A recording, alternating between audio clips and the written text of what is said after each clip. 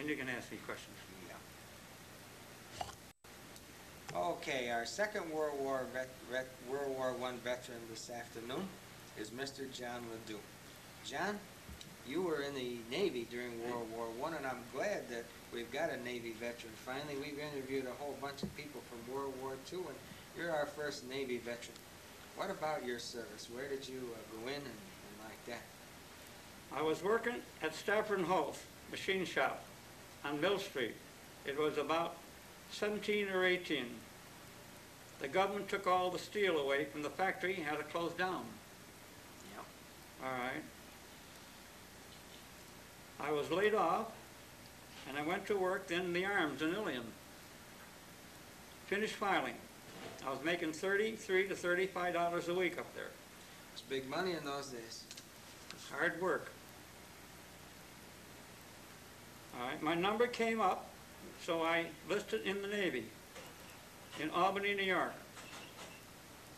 You had to be 21 then to join the Navy in the First World War. But some of them got in, lied their age, and they found out and they sent them home. You didn't lie your age, did You know, I was 21. And I was sent out to the Great Lakes Station in Chicago, Illinois. Then, after training, I was put on a draft to go to sea. There were about 25 to 30, 40 sailors. One of the sailors got very sick coming down on the train.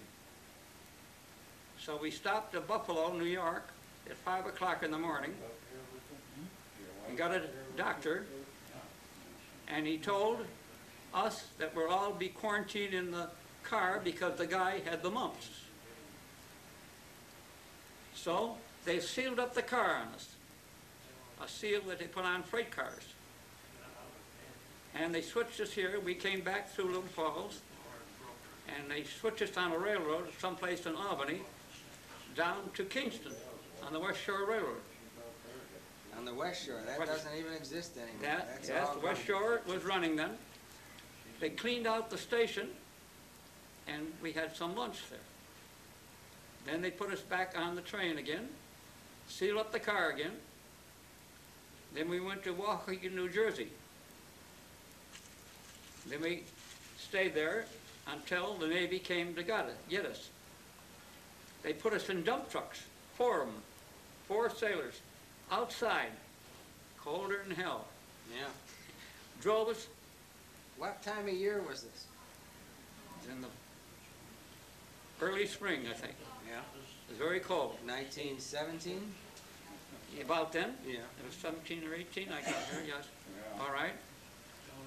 Way across, across the river, way down into New York City, way over to Stone's Navy and 69th Street in Brooklyn. And when we got over there, I walked in the place and the doctor was there working, waiting for us. He told us strip down. So we had to take a bath and wash our hammocks and everything. And he gave us all a shot. Well, out of the 35, then they took us over to the barracks where we were going to stay. And the young fellow there said to us, I have charge of you here. He says, any of you guys don't think that I'll be the boss over you. He said, let's step out and have it right out now. That's Uncle Sam's Navy in the First World War.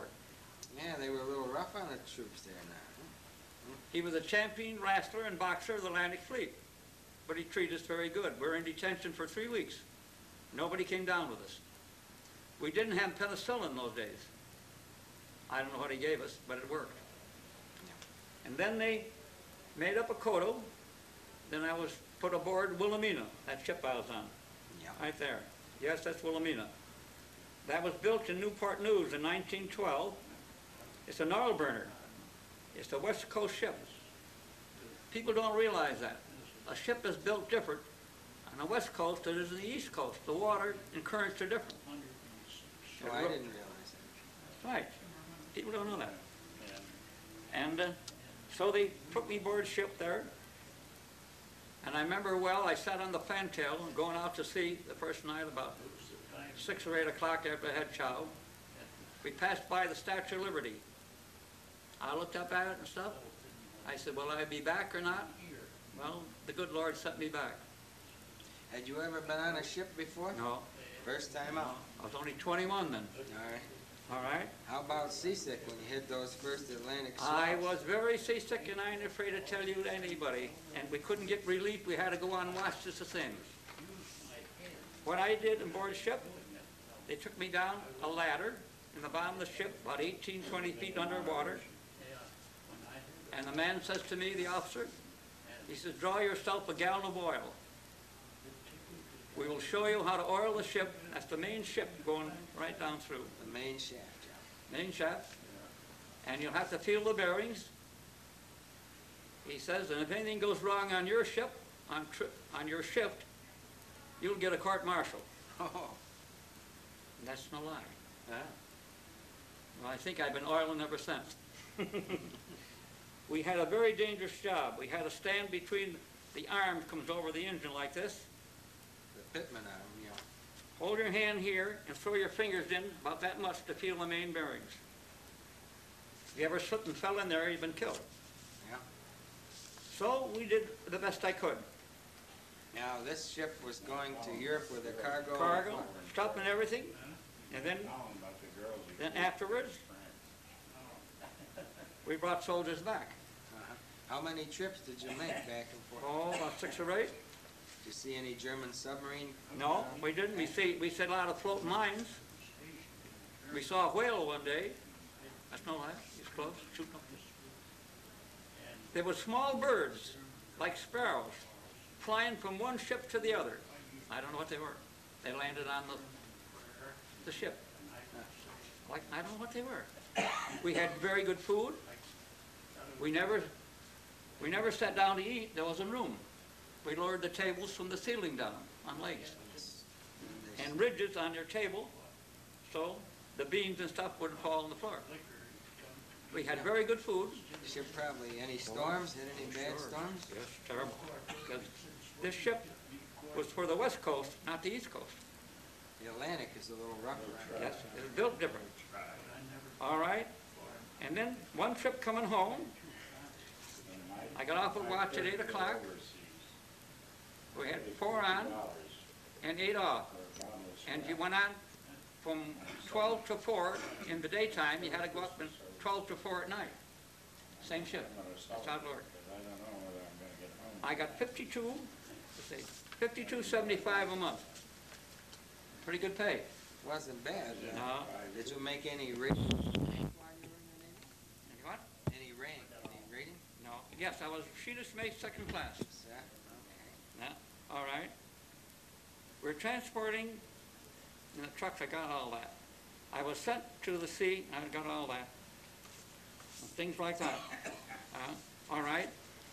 So I went up on deck at eight o'clock, and I run into a fellow from Little Falls, Joe Harvey. He lived up in Manheim here. Yeah. Huh? Never mind. All right. So he said, come on down in the, underneath the deck, we got all the Little Falls guys. And these are, the- let me hold that up and we'll see if right? Mr. Liacono can get us a picture here. All I right. don't know if he can a picture of the Little it. Falls fellows. I have a couple more. You wanna name them off the way they are? Well, I got some, I got another one there I'll name too. Okay, Okay? you name them off and I'll All right. hold this as steady as I can.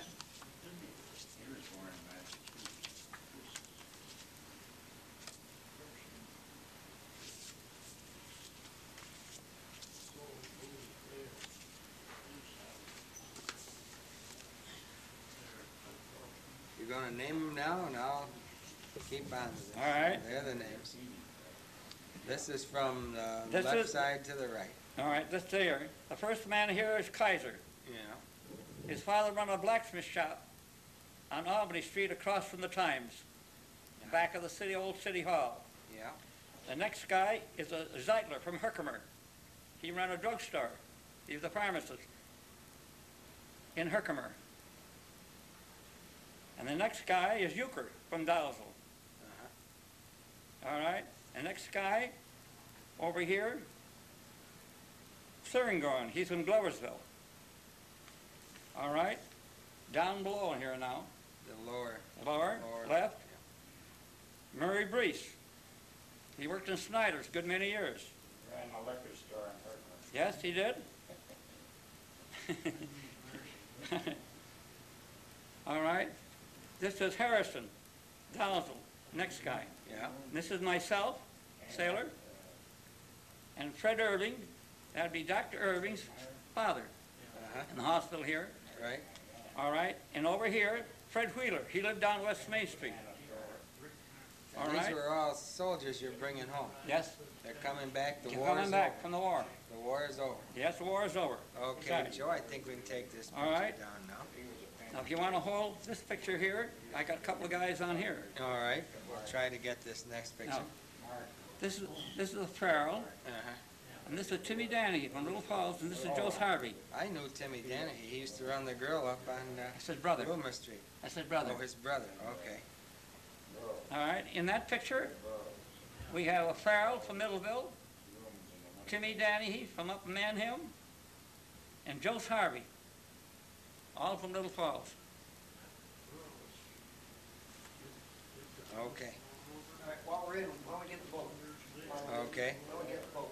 All right, let me get the boat here. I'll All hold right, the boat. wait- I got her. Yes, I got one more picture here. All right, let me hold this boat. Can you see that, Joe? Yeah, that's good. What was the name? The Wilhelmina?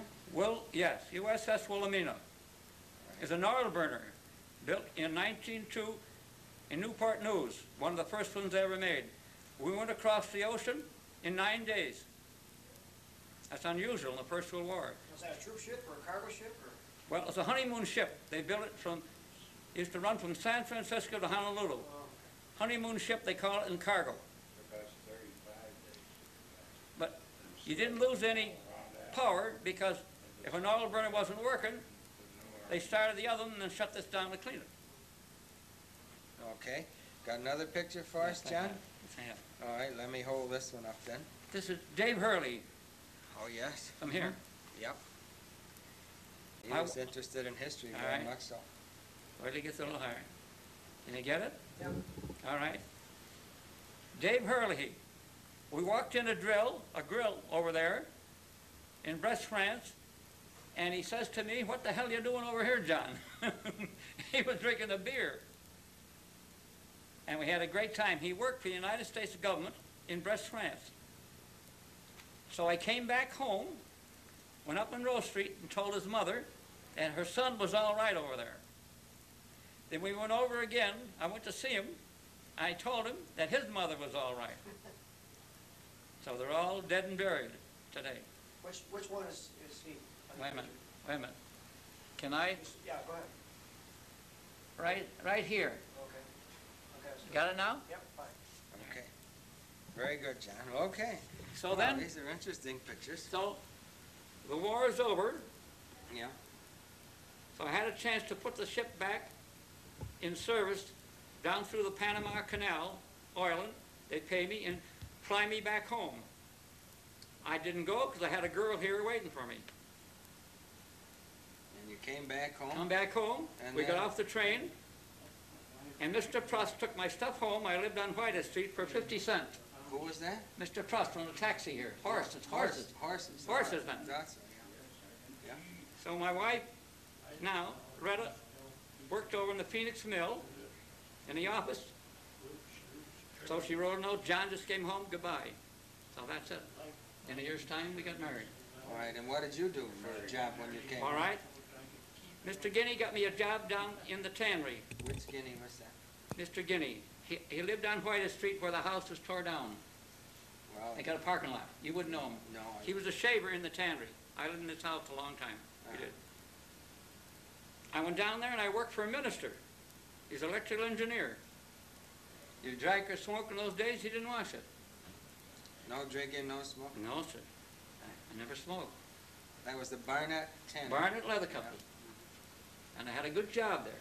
Very good. So they want to move to Malden. Massachusetts, I didn't want, they want to take me with them. I didn't want to go. I had no security. So then, Jack Herkel worked with the main man down at the tannery in the machine shop. He went to Pratt to educate himself. He came back and he got a job in Hanson's. Pratt, now that's out in, uh, near Chicago somewhere. No, no, that's in New York someplace, New school. York. Okay. I've heard am I right? Yeah, I've heard of it, Yeah, but I I- don't know I, exactly. two-year course it is. Okay. So he come up the house one day and he said, come on, John, I'll give you a good job. So I went over to Hanson's and I was production foreman for, for under thirty-five years over there. If I didn't do that, I did mechanical work. so forth. Okay. Still that. I'm retired now, about twenty-four years. And you are almost ninety, you'll be ninety, I'll be ninety in March, okay. and thank God I'm living pretty good. You're looking pretty good shape. Now, getting back to World War One. Yep. How do you think they treated the veterans after the war? Was it Not so good. The only thing we got is a pension from New York State, three hundred dollars. three hundred dollars? I'm getting a pension for the government now. It's not very much, they won't pay anymore. But if a veteran today wants to bring his, uh, trouble and hires a lawyer, the government will only pay him ten dollars. It started in the, I got it here right in this paper. My grandfather, grandmother did it. She had to pay ten dollars to get a pension in Pittsburgh, Mass. That's where, she- down there where she lived. Civil War veteran pension, It's the same thing right now. They never changed it. yeah. It's only ten dollars. The government will pay. A month, A month. No, no, ten dollars. That's why any of these lawyers today won't take me or Tommy or any, you or anybody else. No. They won't pay it. Huh. That's right. Goes ten dollars. So I'm getting a pension from the government and we're doing all right. All right, pretty good. Well, was there anything more about your military experiences you can? No, relate it to wasn't much, You 'cause- went to Paris, you said, or? I went to Paris. All right, tell us Uh, about oh, Paris. I went to, Pa- what we did, we took the canteen money, split the ship right down the middle. Canteen was the bar money, right? Bar, bar money or anything that you've sold in the canteen, instead of turn to the government, they, they let them do that. So we went from Brest, France on a train one night, I thought we'd die. We sat on regular pews with a block of wood to hold our head and, and all the windows are out. But one thing, we stopped at Le Mans after crossover, five o'clock in the morning. The Red Cross was serving donuts to us and coffee. Well, I gotta give them credit for that. Yeah. And we landed in Paris about eleven o'clock. And we started to get a place to where we room. We slept by the Eiffel Tower. Fifty cents a flop You can't arrange it, that's all. You can't underneath the Eiffel Tower and all over. We slept on straw mattresses. We wanted to go to John, we had to go 10, 15 steps. Big roll like this here. Ash cans underneath you. That's right. I didn't bother anybody, they didn't bother me. So when I went a lot of places to see. I went over to Versailles, and I had a good time. I had only had eleven dollars, and I got six francs and fifty centimes for a dollar. I think I got two pieces of silver home yet. So then, we came back, and then I, I was on reserve for three or four years. I had a list for four years. But they can keep it. So I got married on that money I got from the government, reserve. Well, that's pretty good. Then I got married, I raised two children, educated them. And now we're married sixty-six years, thank God. That's can